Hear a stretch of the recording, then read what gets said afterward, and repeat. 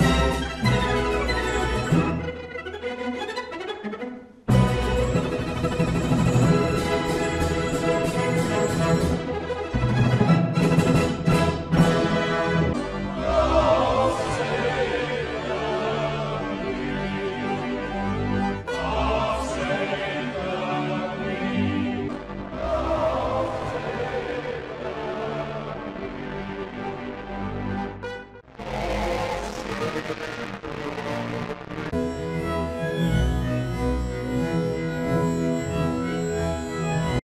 greatest form of control is where you think you're free when you're being fundamentally manipulated and dictated to. One form of dictatorship is being in a prison cell and you can see the bars and touch it. The other one is sitting in a prison cell but you can't see the bar, you think you're free. What the human race is suffering from is mass hypnosis. We are being hypnotized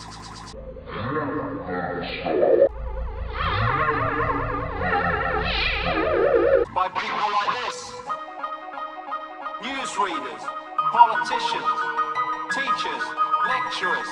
We are in a country and in a world that is being run by unbelievably sick people.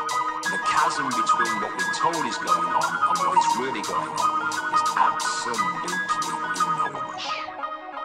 Everybody is slaves, only some are aware that the government releasing poison in the air. George Bush, the grandson of Aleister Crowley. Aleister Crowley. Crowley. The greatest hypnotist on planet Earth is a oblong box in the corner of the room. It is constantly telling us what to believe is real. If you can persuade them that what they see with their eyes is what there is to see, you. Because they'll laugh in the face of an explanation that portrays the bigger picture of what's happening. And they have.